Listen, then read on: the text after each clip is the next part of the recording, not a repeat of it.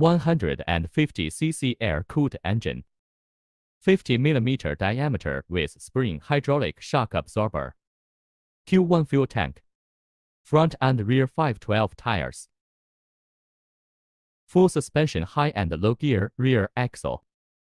Cargo box L1000 and 700 mm W1250 mm.